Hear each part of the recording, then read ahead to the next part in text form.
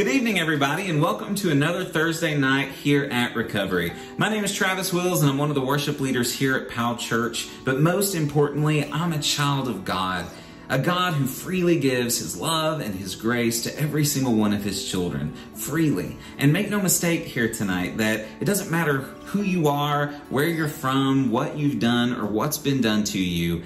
You are a child of God, and He gives that love and grace to you as well. Now, even though we're children of God, we still struggle with loss and trauma, fear, and our sin, but we believe that God holds us and helps us in our recovery journey toward healing and wholeness. We seek God every week together as we worship Him and pray to Him and learn more about Him. And we also practice the 12 steps, which we believe lay out an essential path in our recovery journey. And we're going to recite those 12 steps together a little bit later tonight. Now, we're a ministry that's in no competition with other anonymous communities or recovery ministries. So uh, we work alongside our brothers and sisters in AA, NA, Celebrate Recovery, or whatever other recovery service you may be a part of. So don't feel like you have to pick and choose. It can definitely be a both and. You can continue to be a part of our community as well as another recovery community as well. We would also love to have you join one of our open share groups, which we are currently facilitating through conference calls. And uh, they're completely safe, completely anonymous, and they help to have that encouragement and that accountability that we need in our journeys of recovery each week. So, uh, Jamie is at the end of his message tonight, he'll give you some instruction and some numbers that you can use to call into those conference calls for our share groups a little bit later tonight. Now, before we go into a time of connecting with the heart of God together in worship, let us recite together the 12 steps of recovery along with their biblical expressions. Step 1 We admitted we were powerless over our compulsive behaviors, our addictions, and our losses, that our lives had become unmanageable. And I know that nothing good lives in me, that is, in my sinful nature. I want to do what is right but I can't. Romans 7 18. Step 2. We came to believe that a power greater than ourselves could restore us to sanity. Come to me, all you who are struggling hard and carrying heavy loads, and I will give you rest. Matthew 11 28. Step 3. We made a decision to turn our will and life over to the care of God as we understood Him. You must love the Lord your God with all your heart, with all your being, with all your mind, and with all your strength. Mark 12, 30. Step 4. We made a searching and fearless moral inventory of ourselves. We must search and examine our ways. We must return to the Lord. Lamentations 3:40. Step 5. We admitted to God, to ourselves, and to another human being the exact nature of our wrongs.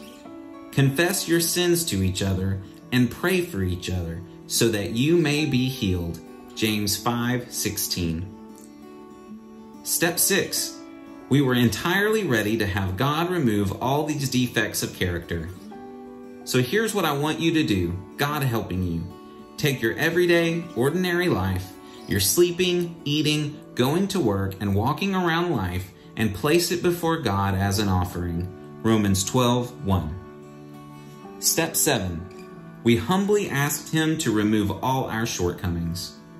Humble yourselves before the Lord, and He will lift you up. James 4 10. Step 8. We made a list of all persons we had harmed and became willing to make amends to them all. Why do you see the splinter that's in your brother's or sister's eye, but don't notice the log in your own eye. Matthew 7 3. Step 9. We may direct amends to such people wherever possible, except when to do so would injure them or others. When a man or woman commits any sin against anyone else, thus breaking faith with the Lord, that person becomes guilty. Such persons will confess the sin they have done. Numbers 5 6 through 7. Step 10 we continue to take personal inventory and when we are wrong, promptly admit it. And now, just as you trusted Christ to save you, trust Him too for each day's problems. Live in vital union with Him. Colossians 2 6. Step 11. We sought through prayer and meditation to improve our conscious contact with God as we understood Him, praying only for knowledge of His will for us and power to carry that out. Pray continually. Give thanks in every situation because this is God's will for you in Christ Jesus. 1 Thessalonians 5 17 through 18. And step 12. Having had a spiritual awakening as the result of these steps, we try to carry this message to others and to practice these principles in all our affairs.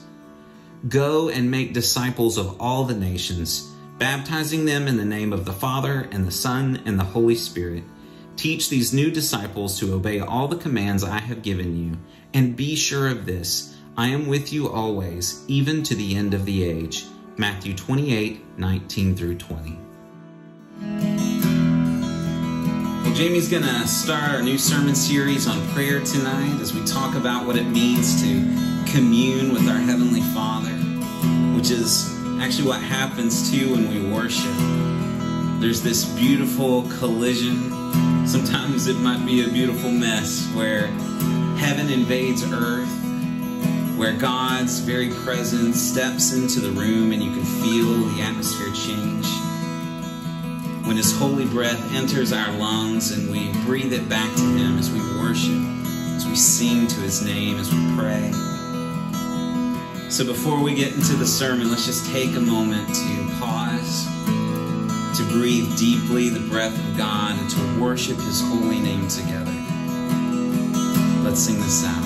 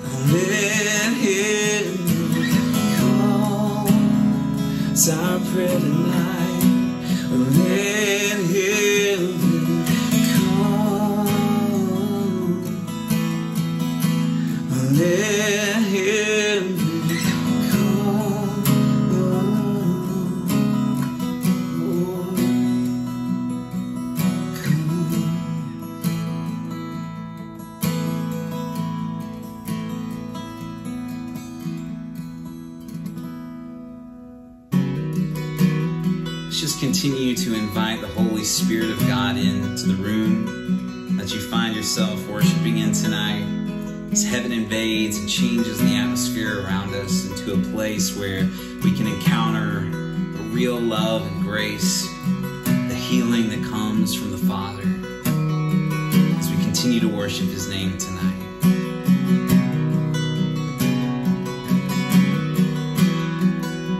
The atmosphere is changing now, and for the Spirit of the Lord is here.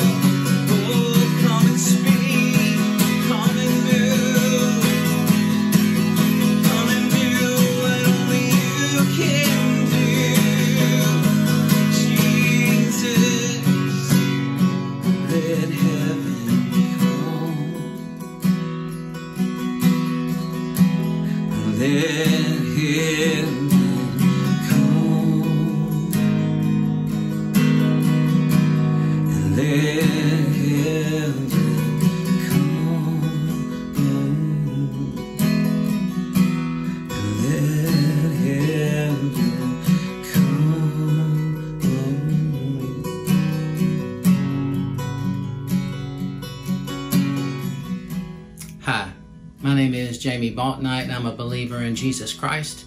And I struggle with issues around sexual integrity, codependency, and perfectionism. But thank you, Jesus, those things no longer define my life. My identity is in Jesus Christ, my Savior. Just want to thank you, Travis, for um, bringing us into God's presence in worship. We are so grateful. I am grateful to be here with you tonight, and I am grateful for Brooke and her message to us last week about what it means to worship. Um, that we need to give God um, everything, to be all in with Him. Brooke, we needed, I needed to hear that message, and we needed to hear from you and to see you. Thank you. We um, appreciate your presence and your being with us every day as we walk in recovery. Um, so before we go any farther, let's pray. Abba, Father, um, Lord, we come to you right now, just as we are. And we seek to know something of your presence in this evening and this time together. With everything that's going on in our world, Lord, we come to you and we ask that you would make yourself known to us. And we continue to pray for Brooke and her family. We thank you for everything that you are doing, for the um, successful surgery. We just keep lifting them up to you and we pray for full and complete healing and recovery, and that you will meet their every need every step of the way through your Holy Spirit. Help them to know a special awareness of your presence, Lord. And we offer this time to you. Oh. Come, Holy Spirit, in Jesus' name. Amen. So, we are going to be in the first week of a five week series on prayer. Um, and in this series, we're going to look at different ideas about how to pray, different ways that we can deepen our relationship with God and, and even some specific things like how to keep going in prayer when our prayers seem to bounce off the ceiling and go unanswered. And all through this series, I'll keep referring to a book called How to Pray, a Simple Guide for Normal People by Pete Greig. Pete spoke at a conference I was at last fall, and um, I was moved by his talk and I bought this book and I have read from it nearly every day since, and it has been a blessing to me. So, we're going to use this idea that Pete has to guide us in how we think about prayer over these next few weeks. His acronym is PRAY, P R A Y. Pause, rejoice, ask, and yield. We'll keep referring back to those many times. We're going to look at pause and rejoice tonight. Um, and we'll use the Lord's Prayer this whole time as our guide. The Lord's Prayer is found in Matthew 9, excuse me, 6, 9 through 13, and in Luke 11, 2 through 4, two different versions. I'm going to use the version that we most often use here at church. It's the one that, that I most easily remember. And be glad for you to say this along with me. Um, Our Father who art in heaven, hallowed be thy name. Thy kingdom come, thy will be done on earth as it is in heaven. Give us this day our daily bread, and forgive us our trespasses, as we forgive those who trespass against us. And lead us not into temptation, but deliver us from evil. For thine is the kingdom, and the power, and the glory forever. Amen. So, why, you might legitimately ask, are we going to spend five weeks on prayer? Well, from my perspective, when I look at the circumstances that we are facing in the midst of a global pandemic, with our case numbers rising locally, with unemployment um, being a factor for so many people, with rising um, numbers of reports of domestic violence and relapse and overdose, with the situation where parents are trying to figure out how to go about school for their children this fall and where managers and employee, employers are trying to figure out how do I keep my business going and care for my employees and customers. When we think about all of that, where else are we going to turn? When we are really knee deep in a crisis, what I would say to you is not great leadership that we really need. It's not even great ideas that we really need. What we really need is a great God. A great God that will carry us through, that will lead us through this and out of this. And we find connection with that great God in prayer. We talk about that very thing when we do the 12 steps in step 11. We sought through prayer and meditation to improve our conscious contact with God as we understood Him, praying only for knowledge of His will for us and power to carry that out. That's what we're going to be talking about how to improve our conscious contact with God. Our scriptural reference for step 11 is 1 Thessalonians 5 17 and 18. The first words of that are pray continually. Pray without ceasing. Well, now, honestly, is that is that even possible? What if it is? What if there's so much more for us in this relationship with God than we have even dared to believe? What if what Jesus wants for us is not really a better prayer life, but for us to come to a life of prayer, where prayer becomes more like breathing. It, it just becomes a part of who we are, not something we do. Where it's not transactional, us trying to wring something out of God, though asking's a part of it, but where it's relational. It's us and God spending time together, enjoying each other's presence. Now, I'll just tell you right here at the outset, I don't know how you take all this, but for me, I pretty much resent it when there's some expert that comes along to teach me about prayer. I don't typically read books about prayer. I don't like it when um, people say, this is how you need to do it. And if you don't do this, you're missing out. And this is what you're doing wrong. And only if you do it this way will it be meaningful. I just, I don't like that. I don't respond to that. If you've been around here for a while, you'll already know this, but just in case you're new and haven't figured it out yet, I am no expert. I'm just a fellow traveler on the journey right alongside everybody else. And there are times that I have to make myself go and pray because I don't want to. And I have slogged away at it for years trying to learn how to pray to improve my conscious contact with God. So, my hope for this series is just to share some ideas with you. Um, some things that I have learned, some things that I've tried that didn't click for me, but maybe they will for you. And I just encourage you to take whatever it is, take it to Jesus, talk to him about it, see how it shakes out for you. But uh, don't, the intention is not for you to come out with the pressure to add 10 new things to your to do list. That, that's not the point. So let's start with God's love. We talk about that often. It's super important. We talk about how much God loves us. But do we think that God likes us?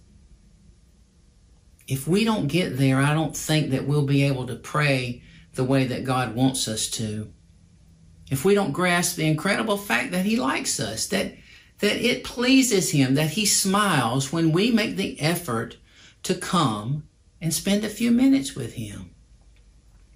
We sort of see this in the first words of the Lord's Prayer where Jesus addresses our Father. Think about that. The Father of Jesus Christ is our Father. And our Father, just like any father with his children, smiles when we come to Him to be in His presence, to come to Him just as we are. Prayer is important in Luke 11, verses 1 and 2, we see this. Once Jesus was in a certain place praying. As he finished, one of his disciples came to him and said, Lord, teach us to pray, just as John taught his disciples. Jesus said, This is how you should pray. And then Jesus goes on to give what we refer to as the Lord's Prayer. It's interesting to me what the disciples asked. They had walked with Jesus a long time. They had seen him do all sorts of things. They did not ask, Lord, teach us how to heal people, or teach us how to cast out demons, or teach us how to do miracles. They said, teach us to pray. Somehow, with what they observed in the life of Jesus and what they heard him teach, they figured out that prayer was the foundation of everything about the way that Jesus lived his life. So may that become our request. Lord, teach us to pray. We'll touch on a few aspects of prayer every week, but to be honest with you, there's so much that I would like to offer to you for your consideration that I just won't have time to. So each week, Travis and I are going to make another video. It'll post probably on Monday with some more specifics, some ideas, us going back and forth talking about prayer. So I hope you'll tune in for that because there'll be some things in there that we just can't include in the messages in this series. Um, one of the things we'll include is this how you could, starting at zero, structure a 15 minute prayer time, because I believe everybody could find 15 minutes in a day, so that at the end of a year you will have spent 91 hours alone with Jesus. And is there anyone among us who would not be changed by spending 91 hours with Jesus? Pete Greig gives us some advice about this, and he wants it. He wants us not to complicate this. He says a sustainable prayer life um, has three keys: keep it simple, keep it real, keep it up. And we see this in what Jesus says to um, his disciples right before he gives the Lord's Prayer. So we're going to look at Matthew 6, verses 5 through 8 in the message translation. Jesus says, And when you come before God, don't turn that into a theatrical production either. All these people making a regular show out of their prayers, hoping for stardom. Do you think God sits in a box seat? Here's what I want you to do. Find a quiet, secluded place so you won't be tempted to role play before God. Just be there as simply and honestly as you can manage. The focus will shift from you to God, and you will begin to sense His grace the world is full of so called prayer warriors who are prayer ignorant. They're full of formulas and programs and advice, peddling techniques for getting what you want from God. Don't fall for that nonsense. This is your Father you're dealing with, and He knows better than you what you need. With a God like this loving you, you can pray very simply. Keep it simple. Here's some ways we might keep it simple.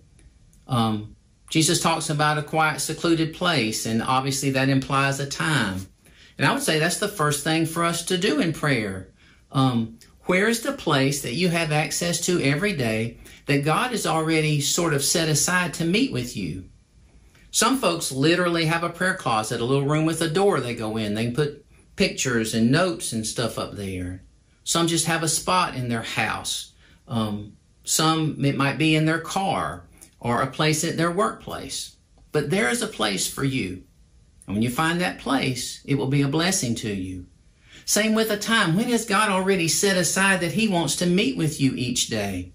Not the only time you pray, but the time that you set aside intentionally to meet with God. Is it early in the morning, in the car, before work, at lunchtime, on the way home, a walk in the evening, or right before bed? It, it doesn't matter when it is. It's just that um, getting with Jesus and asking for guidance so that you can find that time that God's already ordained. And when you find that time, you it'll be a blessing to you. So keep it simple and then keep it real. Jesus said right there, he talked about radical honesty. No role playing, he said. Just be there as simply and honestly as you can manage.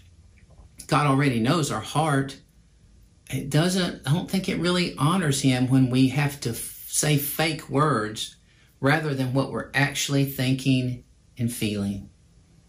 So keep it simple, keep it real, and then keep it up. I'm going to use a quote from Bill W. on this one. It's from the Big Book, pages 13 and 14, where Bill W. says, Belief in the power of God plus enough willingness, honesty, and humility to establish and maintain the new order of things were the essential requirements.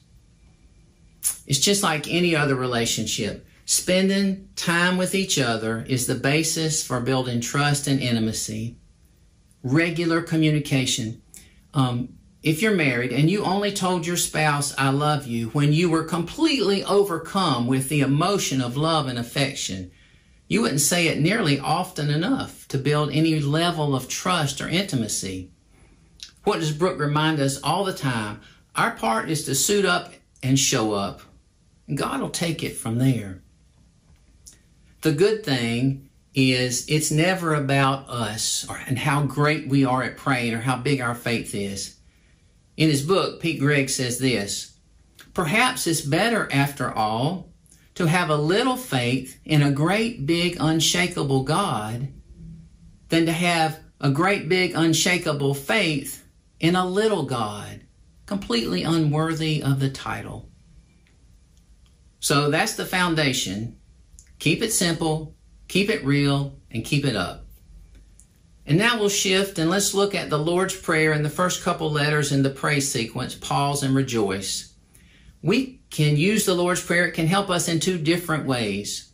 Um, much like in the Serenity Prayer series, the Lord's Prayer will say it um, often enough that maybe we'll begin to memorize it and have it available to us whenever we need it, and it will help us to be able to have that inside of us.